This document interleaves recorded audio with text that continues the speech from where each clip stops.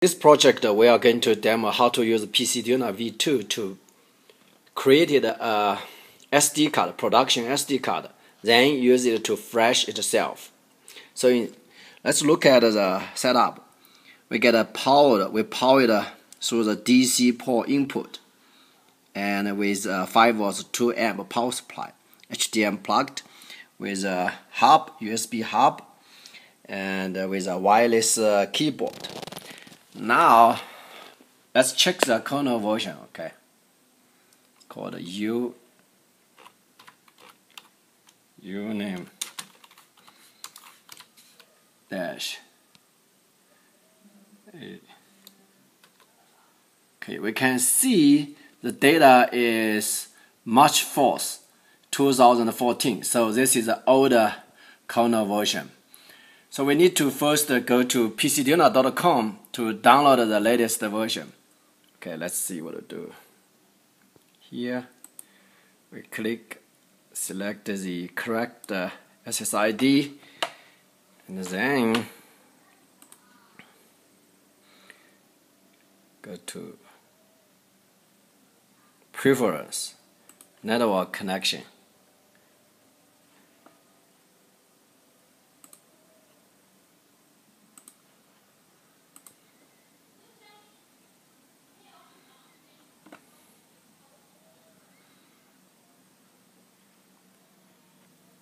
Wireless security.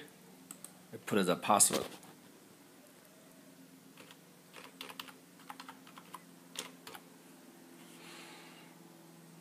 Save.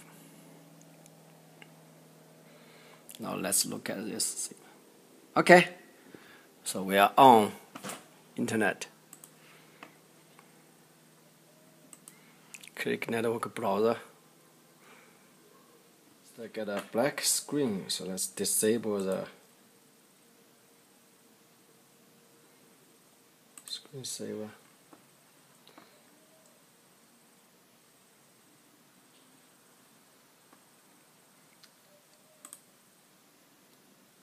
Disable. Pcduino.com uh, let's go to download image for v2 this is should be the latest one at uh, June 20th, and we want to have the DD because uh, we're going to create the bootable, not the bootable, the production SD on PCDuino itself. So click, oh, it's downloading.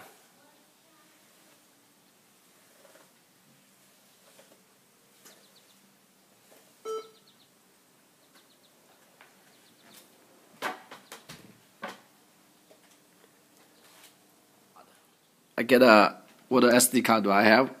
I get a eight uh 16 gigabytes gigabytes SanDisk.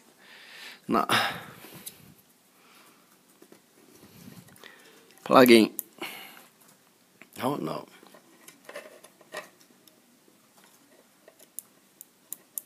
Okay. Plug in. Open.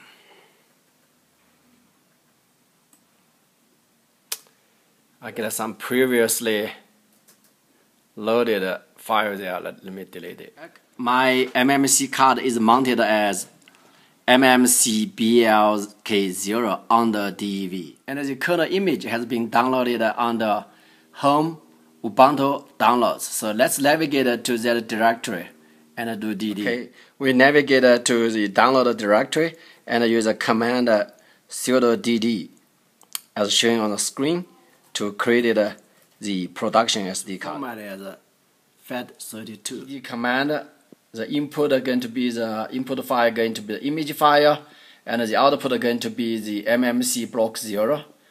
And uh, after we create it, we're going to power cycle the PC. Okay, after power cycle, we see that uh, the LED is blinking. So let's wait for a couple of seconds.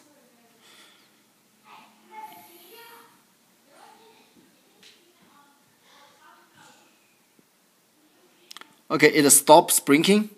So let's power cycle it again. again. Oops, I forgot to take out the SSD card, so it begins to flash it again.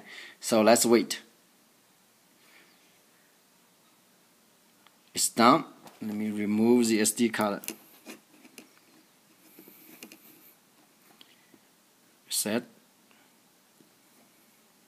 the SD card has been removed now let's look at the screen okay.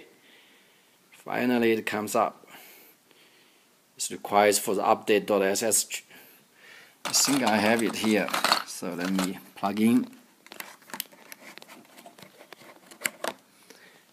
Yep, I plug in my card and it says take about 10 minutes to finish. Minutes, it's done.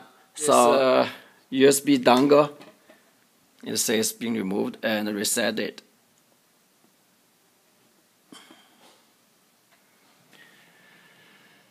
Going to boot up and after that we're going to use a command uname dash a to check the kernel version.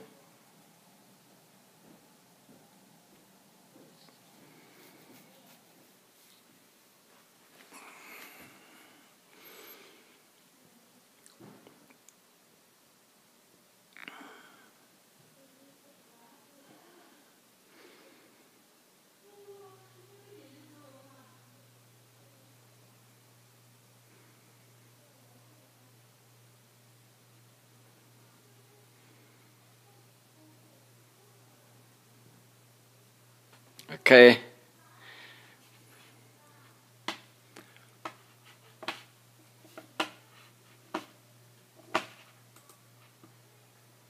Still loading up the union.